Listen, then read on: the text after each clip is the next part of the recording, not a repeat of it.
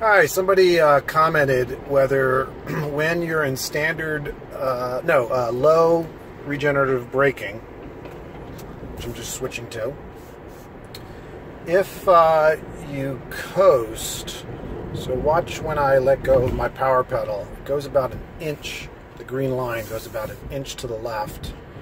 And what they were wondering is um, if you need to press the brake, will instead of using the brake pad, would it uh, basically regenerate a little bit more, slowing you down than um,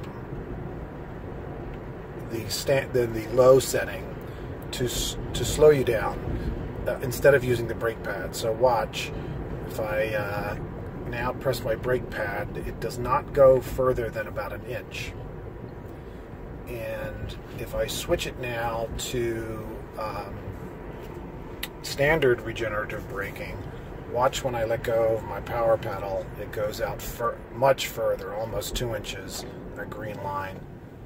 And so I think that implies that when you're in low regenerative braking, uh, you are not, you are going to use your brake pad much more to come to a stop and um, not have some additional regenerative braking slow you down.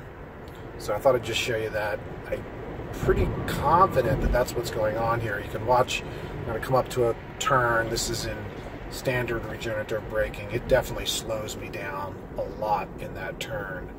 And I'll do the same thing here in low now.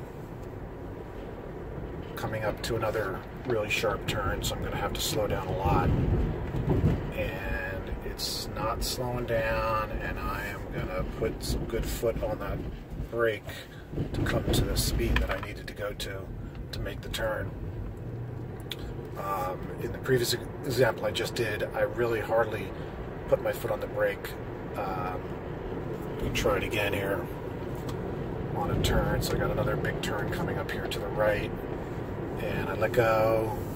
And I took it a little fast, but I really didn't need to hit the brake, and I didn't hit the brake.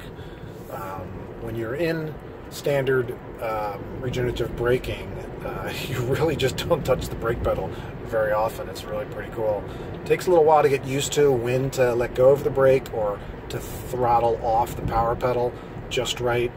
But uh, here I'll do it again. And probably could have just throttled off there. I, I uh, jumped. The uh, difference with the Tesla in driving is that you don't bring your foot off the pedal real quickly. You can, but you a lot of times just feather it back and the regen- regenerative braking engages. So uh, I'll just throttle back a little right now. Not off, my foot's not off the pedal. You can see it regener- regenerating there. So as soon as you throttle back a little bit, uh, the regenerative braking kicks in and you start slowing down. If you bring your foot completely off, you get a whole bunch of uh, almost like a downshift. And it is actually fun. You can, if you time it right, you can sort of like downshift or regenerative brake into a turn, which is pretty cool.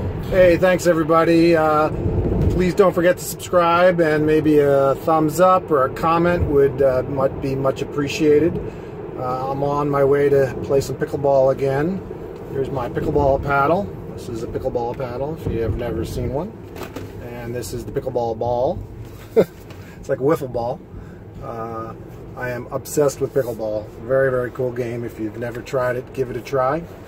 And uh, you have any ideas for um, a, video uh, or you have some questions about the Tesla Model 3, feel free to put a comment in and I would be glad to uh, do a video for you.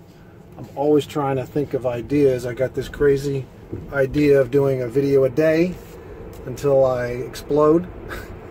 I don't know. And uh, uh, I need ideas. So any any ideas you got, I'm all ears. Thanks, everybody. Bye bye. Thanks again for watching. If you're interested in any of my other Model 3 videos, they're here in the top right. Uh, my son's channel, The Nerdwriter, top left. Check it out. And please don't forget to subscribe. Thanks so much. Bye bye.